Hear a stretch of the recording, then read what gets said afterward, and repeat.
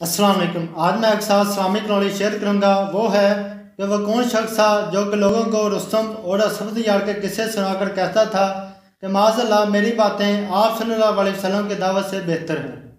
इसके लिए मैं आपको दो ऑप्शन दूँगा। पहले ऑप्शन, नज़र बिन हारस। दूसरी ऑप्शन, अबू जहल।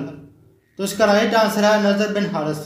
यानी नज़र बिन हारस वो शख्स था जो लोगों को रुस्तम और असमद यार के किस्से सुनाकर कहता था कि माजल्ला मेरी बातें आप सल्लल्लाहु अलैहि वसल्लम की दावत से बेहतर है। और आपको इस्लामिक नॉलेज अच्छा लगे तो वीडियो को लाइक करें और चैनल को सब्सक्राइब करें। शुक्रिया।